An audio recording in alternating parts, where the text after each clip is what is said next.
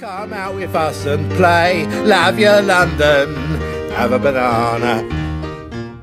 In today's episode of Love Your London, we will be visiting Dagenham Village, including a visit to the 15th century Cross Keys pub. Dagenham has had its fair share of tragedies over the years, whether it be the as yet unsolved murder of a young PC in the 1840s, the sad demise of its status as being a car manufacturing powerhouse employing 40,000 local inhabitants, or the tragic wildfires of last summer. But we start our journey at the Goresbrook interchange, on the lookout for Madonna's bras.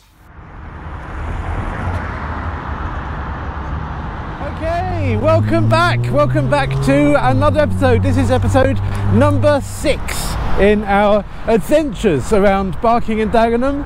We're now firmly getting into Dagenham territory. This is the Dagenham dock area. Look at this, look at this in front of us. Isn't this amazing? This is this is part of the A13 Artscapes project. Um, there's two of them. Uh, as you can see on your screen, it's, it's two roundabouts, and it's one, one of the, when people are going down the A13. This is something that is no, the people then know that they're in, they're approaching Dagenham. Um, it's absolutely fabulous. There's one here, and there's an identical one on the other side of that flyover. Um, there's even a little door in there. I don't know if you can go inside, but um, like it. It's fantastic, isn't it? What does it remind you of? The roofs of like old Ibero-Celtic houses. That is a far more intelligent answer than I was going to give. Uh, it reminds me and it reminds pretty much everyone around here of Madonna's bras. Oh right. And so that is the nickname of this uh, of this uh, landmark, Madonna's bras. Not the official name. I'm sure you'll all remember in 1990 Madonna's Blonde Ambition tour uh, when she wore these conical bras uh, designed by Jean-Paul Gaultier. Uh, Jean-Paul Gaultier did not actually design them for her. They, originally, he designed them for his giant teddy bear, Nana. Um, but in the end, uh, Madonna wore them, and it launched this uh, this whole look that went into Vogue and all this stuff like that. Local BMX enthusiasts call it the death spine. Um, it's a very stupid thing to do, uh, but there's even a video of some BMX youth being extremely irresponsible and driving up and down it on their bikes. Uh, there's a link in the description below. We don't want to really um, encourage that behaviour, but they've got almost 2 million views. I mean, how is that possible? Why have they got 2 million views? Why aren't we getting 2 million views?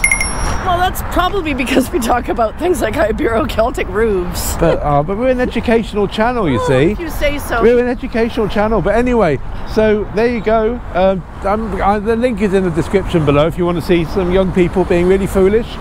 Um, we sound really old now, don't we? These amazing structures uh, were designed by the Thomas Heatherwick Studio. One is called Scylla and the other one is called Charybdis, which were two monsters from Greek mythology that supposedly inhabited the Straits of Messina. As I said, some people love them, a lot of people hate them, but they're here to stay. No one really calls them Scylla and Charybdis. They're Madonna's bras to everyone, unless you're into BMX, in which case it's a death spine. Personally, I'm with Madonna. Okay, so we are here at Dagenham Dock British Rail Station. There's been a station here since 1908. We're in Zone 5. Um, uh, there's step-free access if you're heading towards Grays, not so much if you're heading towards London.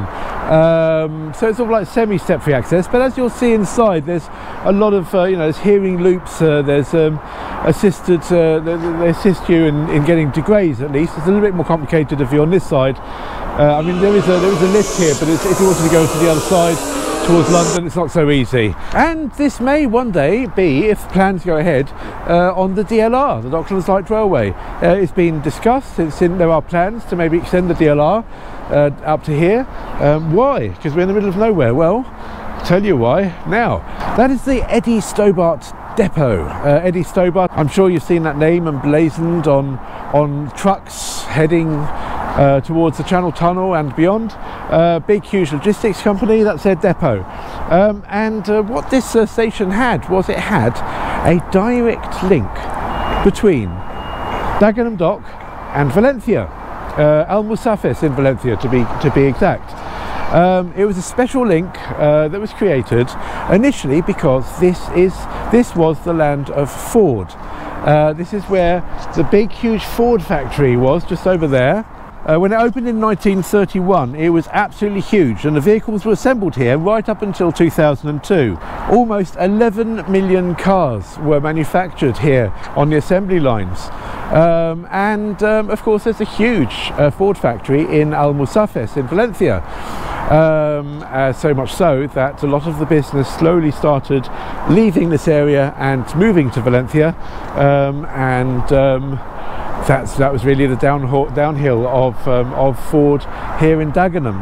Uh, now it's about 2,000 or so just making engines, uh, but they needed the trains to move parts backwards and forwards between um, uh, Almussafes and, and Dagenham.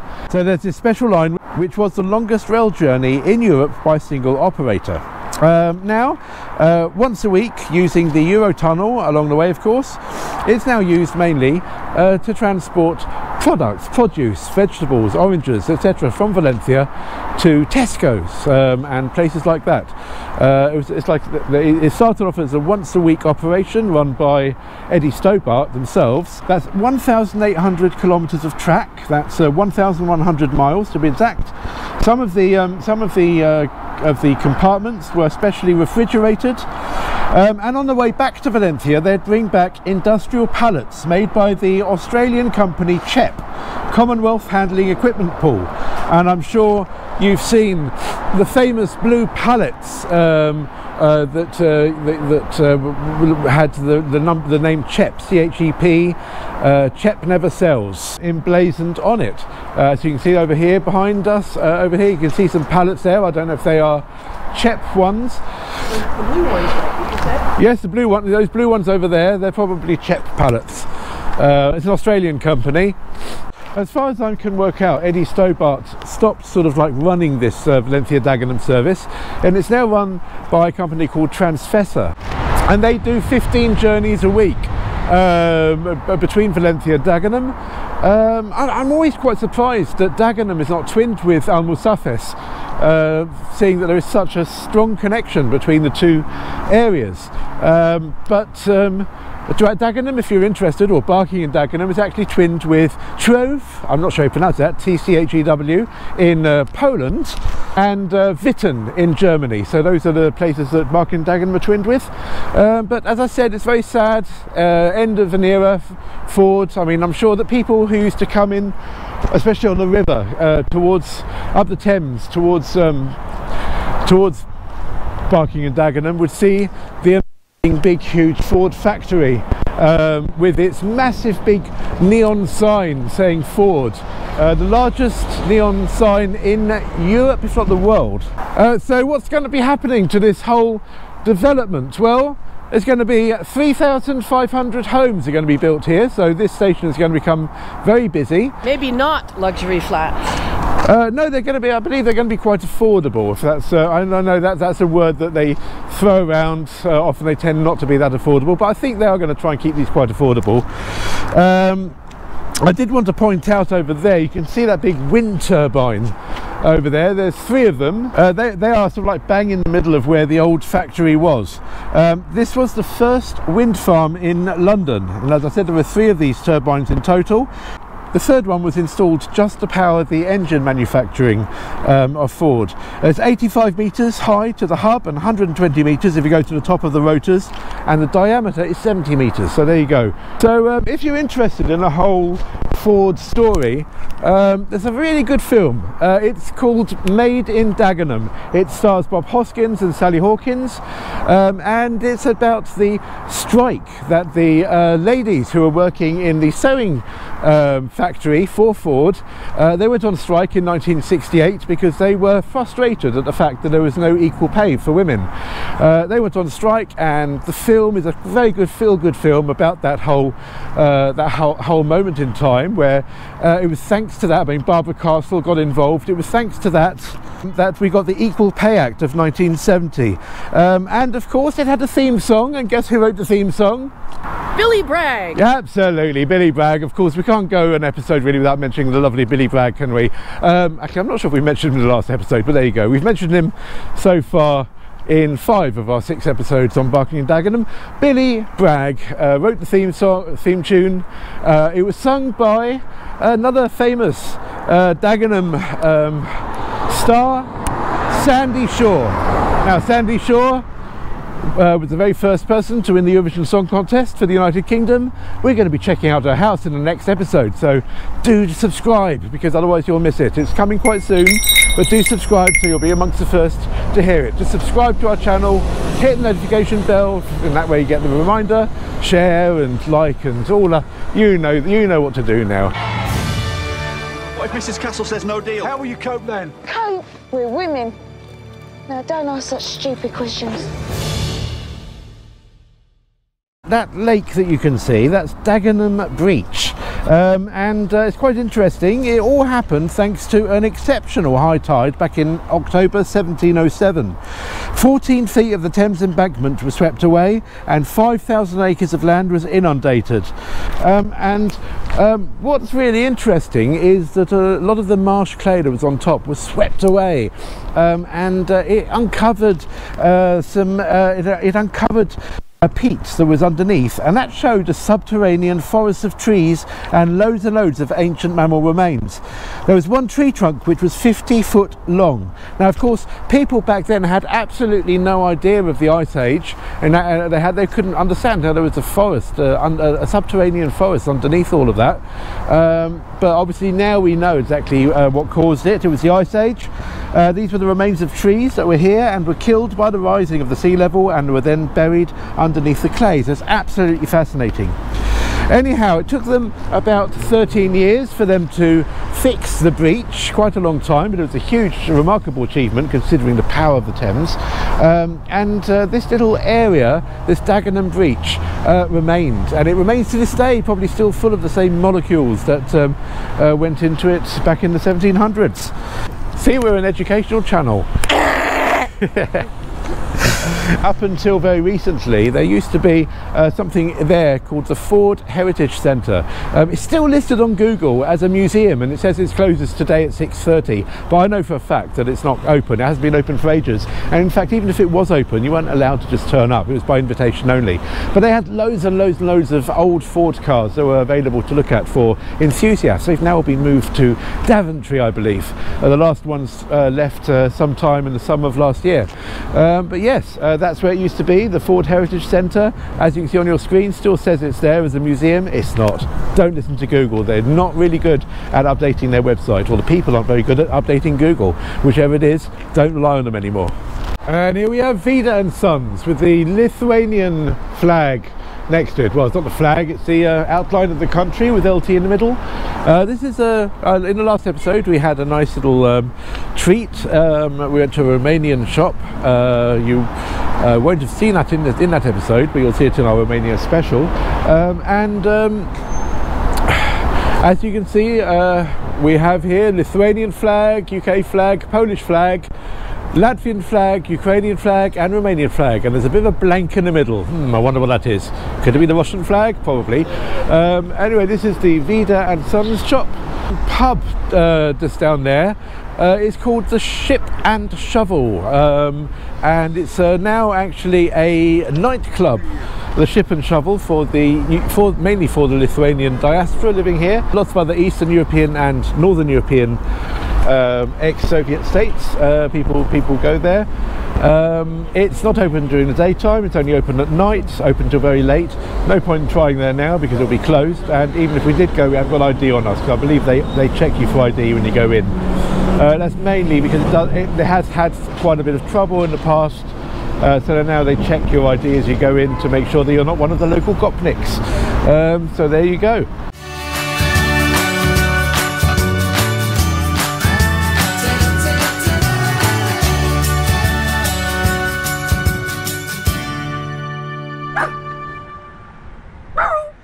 Okay, so we are currently on Ballards Lane, uh, going through the old Dagenham Park. There's the old Dagenham Park over there to my left, and over this, over here, this area is called the Leys. This is the the Ballards Lane car park. Um, now, as you look over there, see some of the bushes are quite red. And the tree over there is quite red. Now that is not the colour of autumn, I'm afraid. That there is the remains of a horrific fire that happened um, last uh, July, um, July 2022. There was a massive fire that swept across this whole area. Um, it was the it was the biggest heat wave in London. Uh, uh, it was a, it was the hottest day ever recorded in the history of the British Isles. Um, it, it, the, the the thermometer soared above 40 degrees centigrade. 41. Yes, but on that day, 40 degrees, Right. um, and um, and so this became uh, an inferno. Um, the, the, the, all the trees were on fire. Altogether, 41 houses were completely destroyed. Uh, over there, over there, you've got Beam Park. Beam Park is completely destroyed. Obviously, it's, it's nature always finds a way. It's coming back. Uh, so many houses were destroyed, uh, so many livelihoods were lost, so many cars were destroyed. I mean, just look at these pictures now on your screen. It looks like something from Mariupol, doesn't it? Uh, when you saw it on the news, um, it was just quite unbelievable. This was Dagenham. Um, these burnt out cars and and the shells of houses. Uh, in fact, just over here, we might be able to see some of the houses that remain, or what's left of them. Uh, we're going to just head towards Farm Close, which was extremely badly hit. Um, the houses there is not very much left of them at all. In the air, you can smell the burning. Uh, it's quite clear, and it's like three and a half months later on, still heavy in the air. Uh, but let's go now just check out, see what's left of these houses. I mean, if you just look over here, you can see the back of them. Gosh. Um, Oh. I mean, just look at this. I mean, this was, this is absolutely horrific. Look at this. Jeez. That looks like a vintage truck. I mean, yeah. Too. They? Well, they look vintage, I suppose they might not be. Let's have a walk down here. But are vintage. Those are old-fashioned trucks. Let me just um, just look through the. Wow.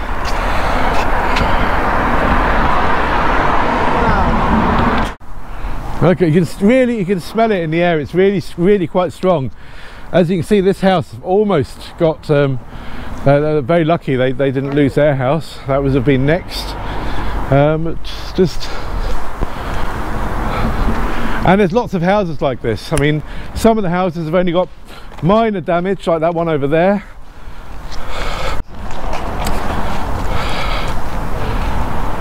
But this was full of burnt out cars originally. Later on in this episode, we bump into Gary Edwards, a resident of Farm Close, who was rescued by the firefighters. We will be showing our full chat with him when we get to the Cross Keys pub in a few minutes' time. However, now would be a great time to share with you some shocking footage that was taken by one of the firefighters and which was given to us by Gary and for which we have received permission to use.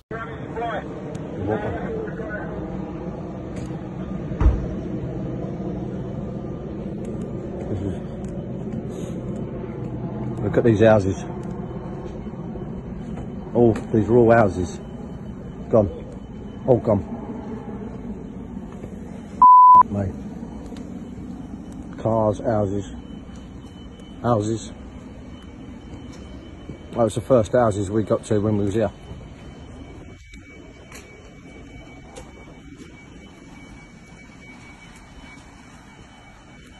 Look at this place.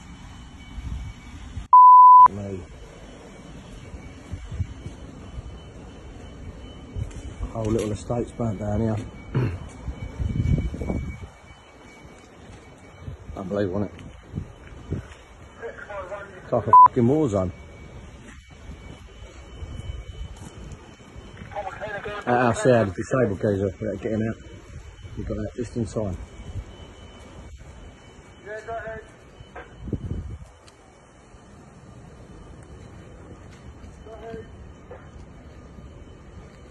It's proper still going round here. They just.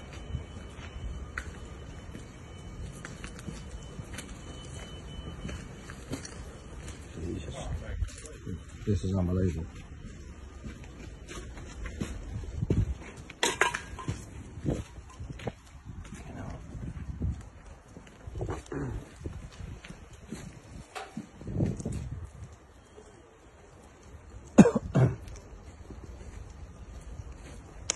What do we reckon here? Just here alone, I reckon. Not 30, 20, 30 houses? Fucking hell. Never seen nothing like this.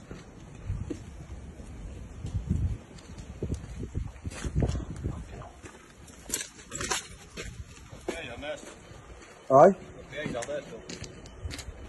Jesus Christ.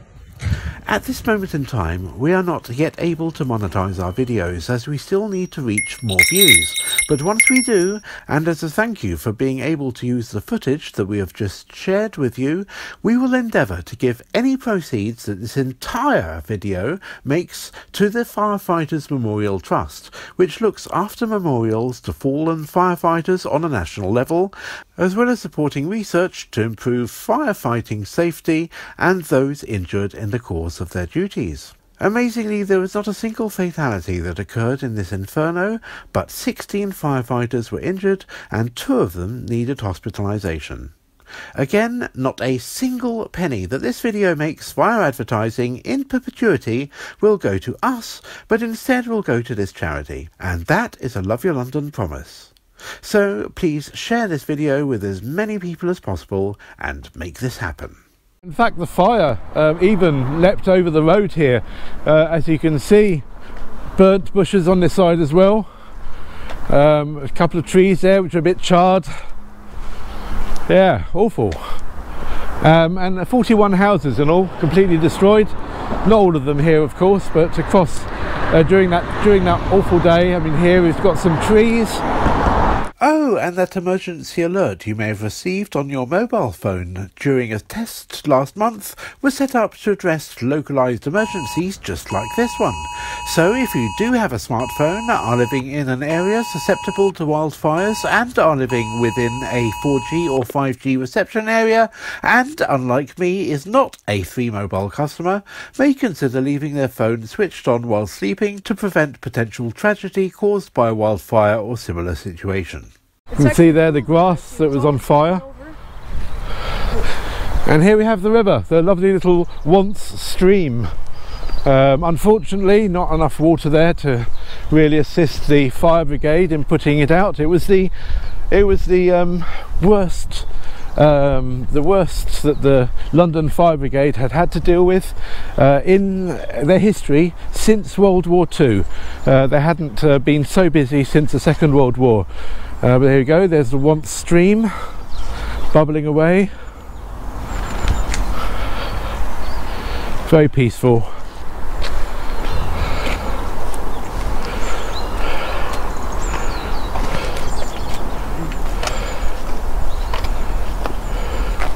It's lovely, isn't it? Oh, we've got some CDs down there. There you go. Phil Collins. Phil Collins, yeah. Mariah Carey.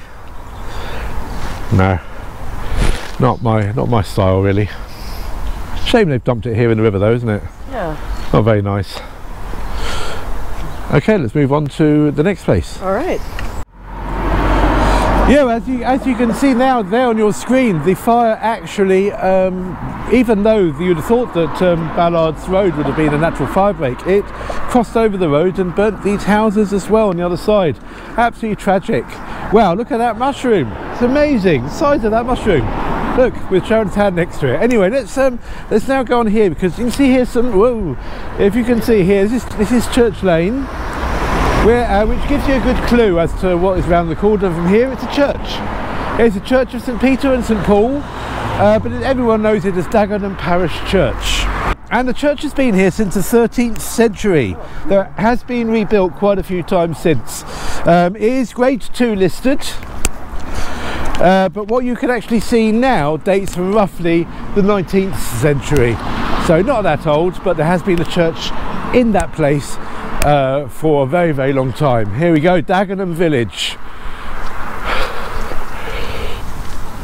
There is one particular memorial that we're keen to show you in this place. Uh, hopefully you'll be able to find it. Should be able to find it. Here it is, George Clark. Oh, oh, that. Yeah. Okay, it's not that big. No. one. So here we go. This is to the memory of George Clark. Um, police constable, this is one of the big unsolved murders, along with um, Jack the Ripper and stuff like that. This really sort of intrigued the nation at the time. Uh, still, no one knows exactly what happened. In 1846, in a cornfield, which is now the car park of Barking and Dagenham College, a 20 year old Bobby called PC George Clark was murdered. And he came up here from Stepney to replace the void left by three police officers who had been sacked for going on a drunken rampage around Dagenham village, which is where we are now. Uh, so no one knows exactly who did it. Um, but uh, perhaps he discovered while on his beat that a gang was stealing corn or perhaps it was the other policemen that killed him, the ones that, whose jobs uh, he had taken. Perhaps it was a sort of like a grudge thing, or perhaps it was just sort of like other policemen who weren't too happy about this 20 year old squeaky clean guy, very religious guy, coming here and um, and being sort of very uh, trying to clean up the area, clean up the uh, corruption in the police force and everything. There's a lot of possibilities of who did it, but no one knows for sure. So it's one of those big unsolved mysteries. Uh, so this tribute was erected by the inhabitants of the parish and his brother officers of the K Division of the Metropolitan Police. Talking of drunken rampagers, there is an amazing, lovely little village pub just literally across the road from uh, this beautiful church. And I think we need to have a little mini drunken rampage of our own, shall we? It's beer o'clock. It's definitely the sun is beginning to set, and this episode is beginning to come towards an end. We've still got a couple of more things to show you before you go, but let's just go and have a little, a little swift drink in the beautiful Cross Keys. Now, Cross Cross Keys is an old pub. It's a grade two listed pub, as it should be, timber framed, dates back to the 15th century when it was a tanner's dwelling. Uh, but it became a pub in the early 1700s during the time of Queen Anne, and that's when it became known as the Queen's Head in her honour. But by 1785, it was already called the Cross Keys. Let's go and have a drink. I mean, look at this. Look how village greeny this is. I mean, this isn't. This doesn't feel like London at all, with a little little memorial in the middle and the little grass thing. Very nice.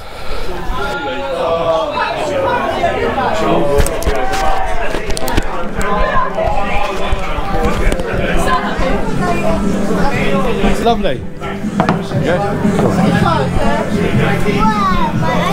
That's is, lo- that's a lovely pub to work in. What's your name? Brooke. Brooke. Brooke. Yeah. Lovely. Um, and, and so like, you, you, is this like a family pub? Or Oh, it's so homely, so homely. Best pub, best pub in Dagenham. Best pub. What, what, what time, what sort of clientele do you get here? Is it just like locals? Do you get like a music crowd as well? Or Yeah, on a Friday night we sometimes have a bit of karaoke. Then on a Saturday night, sometimes a bit of DJ music. Yeah. Like we have a couple, we have parties in the hall. But Okay. yeah, it's all, it's all. Fantastic. Did I go through? No, No? sorry. That's all right. That's not too bad. £7.20 for, for two. 360 a pint. 360 a pint. Well, that's actually really, for, for a lovely pub like this. That's a really nice Yeah, price. it's such a homely pub. It's like a big family. yeah, yeah, that is a lot. Every Saturday. And it's a really old pub, 1500s. Well, it was a pub since the 1700s, Yeah. but it's been the building's been here since the 1500s. Yeah. Brilliant. Thank you. Thank you, Brooke. Lovely talking to you. Oh, this is look at this. This is a lovely old pub, isn't it? Look at this. Look at this beer garden as well.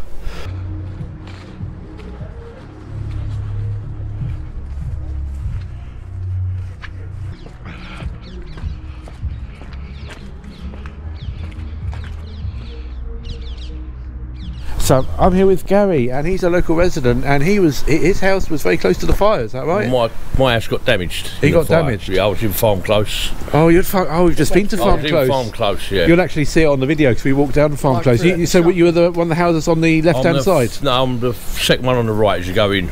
Whoa, I see. Yeah, that, yes. that they're right next to, they're just the penultimate house before the ones that are burnt around the key. Yeah, Not- the not one's two behind uh, behind my house. And Yeah. It came down and it and it burnt all the side of my house. Oh, yeah, Okay, yeah. we saw it. We, we saw it. yeah, and the kitchen, it. Yeah. sort We of on front room and win, Yeah. all the windows It's and all, all melted. It wasn't your one. Well, mine ain't melted because I had mine rendered.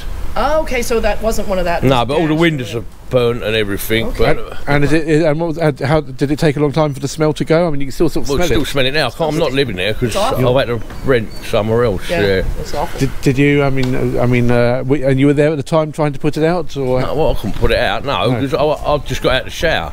I was Right. in the garden Yeah. originally, and I don't know if it was an, um, a, like a delivery driver or whatever. And he said to me, "I'm just giving you the heads up, mate. There's a, a, a massive fire in a, right at the other end of the field, Yeah. at the bottom of Ballards." And he said, um, "And it's raging towards them two houses behind you." yeah? So I thought I'd fire brigade to put it out. So I went in, I quickly cut my hair, I had a shower. I just got out of the shower, just put a pair of shorts and that on, and the police were banging on my door and evacuated me. Yeah. And uh, the fire was already in the garden behind me by that time. Oh, my god! Within minutes. How horrible.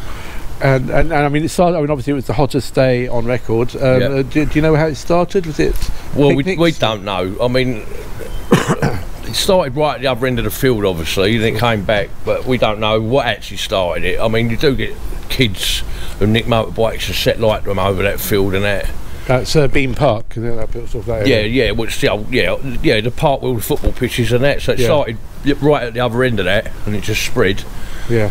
And then you obviously got that house next door. We had a garage, and then all the fire, all the um, gas cylinders were firing over the road and everything. Oh gosh. Yeah, 'cause it spread. It spread over the other side of the road, didn't it? That was yeah, that gas was- cylinders were going over. Wow. Because a neighbour of mine said one went over over the Ballards Road, over the house opposite her, and it obliterated someone's back garden. Oh my gosh. So Anyway, thank goodness your house is not destroyed, and you'll be able it's to not, move. but it's the insurance company. They're saying I'm underinsured, but they're I'm having so much aggravation with them. Yeah. You know what I mean? It ain't very pleasant, especially being disabled and whatnot. Yeah. You don't get a lot of help off them. Oh, I hope. Um, I hope things turn up for the better. well, hopefully I won't be before Christmas by the look of No. it, but. okay. But um, yeah, it's not been a very nice. Uh, I mean, at least I got because that my son died. That my, we, our son died years ago, and at least we had all the pictures of him. yeah. We all got our, we got our personal. Other people lost everything, unfortunately. You know what Yeah. I mean? But it's totally destroyed. It's only four houses that's going to be standing there Yeah. out of 14. Oh god. Forty houses. For, yeah, forty houses destroyed. 14 houses, so Fourteen. 10, four there's 14 altogether there, but 10 of them have got a, well, eight, well, eight of them are absolutely just Yeah. a frame, so they're going to knock the other two. There's only going to be four out of 14 remaining. Four out, four out of 14, and there were 41 houses altogether in the capital. Yeah, but we're farm closest. There's only close. 14. But, only 14. but there's only four that, uh, original ones that are standing. Going to be standing. But Yeah. Okay. Anyway.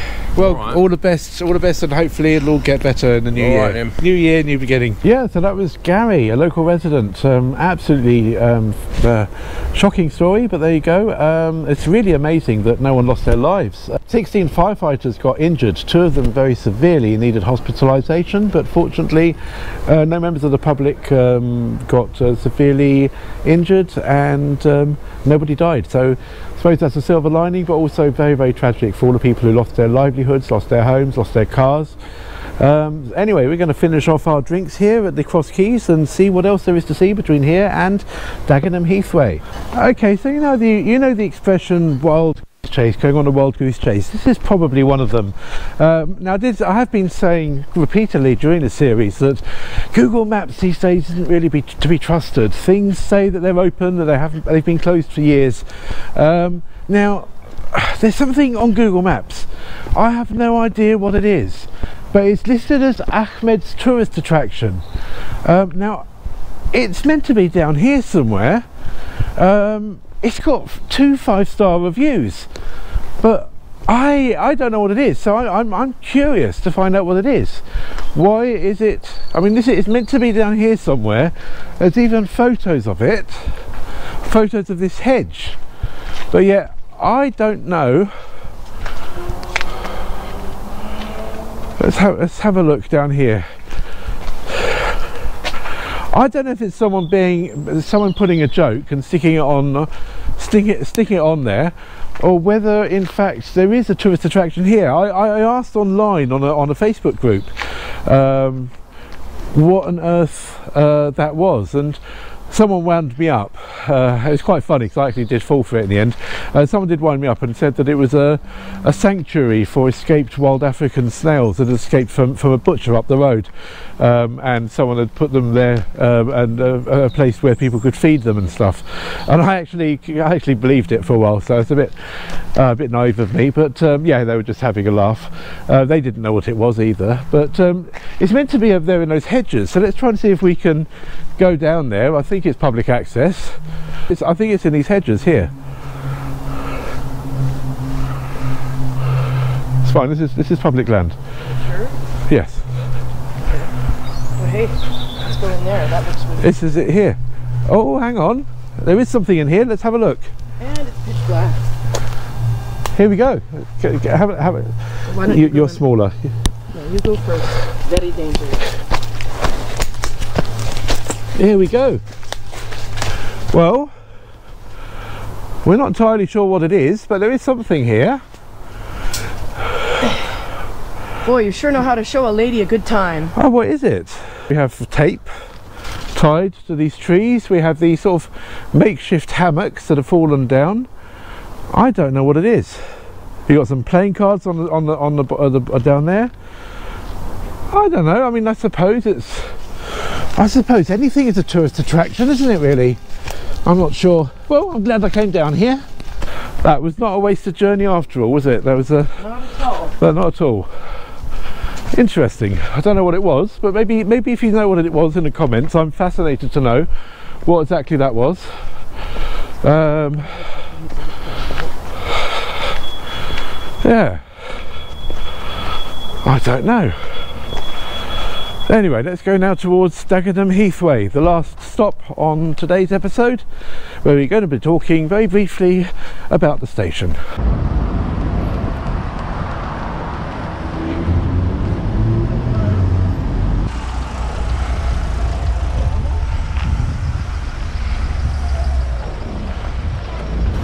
So we end the episode here at this station, Dagenham Heathway. It's also in Fare Zone 5 and it's on the District Line. And it's a very similar layout to Upney that we saw a couple of episodes ago with this sort of like ramp going all the way down, which means that it is accessible. And it has toilets. And they're accessible too. Look, there's an accessible toilet right there. Um, uh, unfortunately, the toilets aren't always open. Um, I mean, I, I suppose these ones are because if you've got the special key, you can get in. But uh, these toilets are closed until further notice due to criminal misuse and vandalism, unfortunately. Uh, there you go. Not everything in Dagenham is great, is it? Uh, as you can see, it really is in need of some desperate love and attention. The roof here looks like it's going to cave in at any moment. In fact, um, online there's quite a few people worried about it. Um, so, so is anyone listening? It's also quite a busy station. Um, twice the amount of people use this station than use Dagenham East. Uh, yet Dagenham, Dagenham East is in a much better state of repair. We'll be seeing Dagenham East in the next episode. Uh, we'll be seeing a lot about Dagenham East and and also from there we'll be doing a nice big circle all the way around Eastbrook End and the Chase um, and then working our way back down towards uh, the, the new film studios that they're building. So all that to look forward to. That will be our last episode. That will be the seventh episode on Barking and Dagenham, the third on Dagenham itself. Um, but um, we'll see you in the next episode and we're going to show you always to try and show you the nice side of Dagenham uh, not the nasty side so it's goodbye from us from Dagenham Heath. Till next time. bye. Next time on Love Your London, we'll be checking out Dagenham East, home to Sandie Shaw, the Beam Valley Country Park and the Chase Nature Reserve, Dagenham and Redbridge FC, and very soon the epicentre of an exciting new film studio complex that could turn Dagenham into the next Hollywood. Till next time. From Acton Town to Wimbledon, from Brixton to beyond, love your London, have a banana.